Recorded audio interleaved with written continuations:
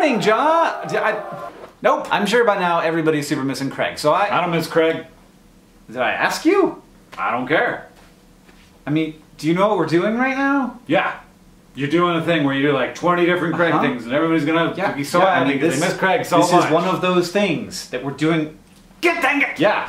Okay, I uh, beard. I guess I got to do a beard.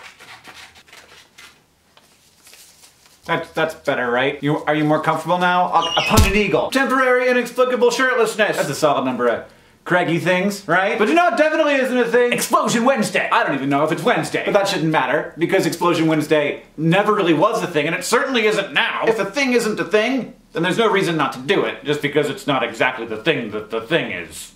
This is not working. Ah, ah. So you want to know about the coolest science explosion of all time? You're probably thinking to yourself, of course, it's the Cambrian explosion. Duh. But the Cambrian explosion wasn't the literal explosion. The Cambrian explosion is absolutely my favorite figurative explosion, but my favorite literal explosion that happened in the 1950s. At that point, the US government was doing a ton of nuclear tests. They were blowing up nuclear bombs uh, in the southwest of America and also in other places, and people were starting to get worried about the effect that all of the radiation from those ex- like nuclear bombs might have on people. Correctly, by the way, good on people for being concerned about that. So they started doing experiments to see if they could blow up nuclear bombs underground and contain all of the fallout under the earth, none of it going into the atmosphere. In 1957, they were doing one of these underground tests. They uh, drilled like a 500 foot deep well and uh, put like a concrete casing around that well, lowered the payload into it, and then on top of it, there was a bunch, I'm not getting into all the details here, but on the top of it, they welded it like a 2,000 pound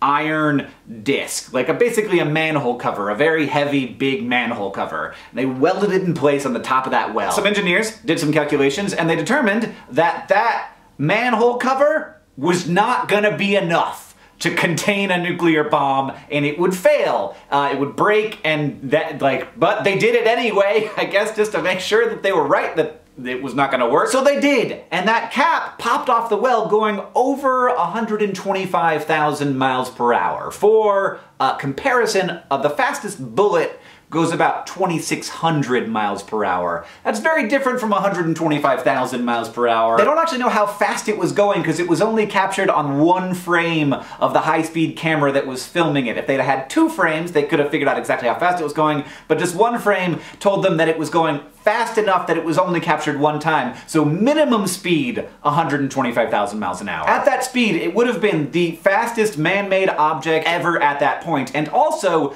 the fastest man-made object ever on the Earth still. Some space probes have now gone faster than that, but on the Earth, nothing has ever gone that fast.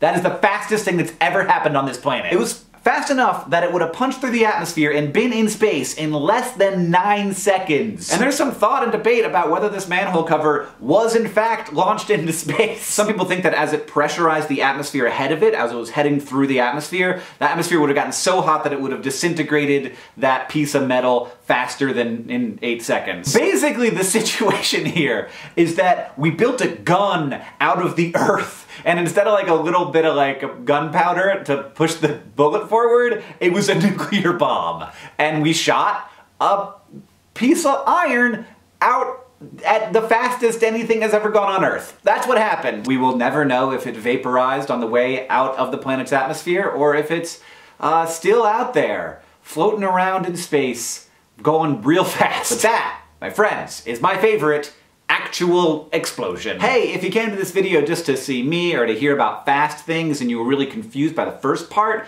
that might be because you don't watch Wheezy Waiter, which is one of the most interesting and cool channels on YouTube. Uh, you can check it out at youtube.com slash wheezywaiter. Subscribe there, find out all the amazing and peculiar things that my friend Craig does. Craig, I will see you when you get back from paternity leave.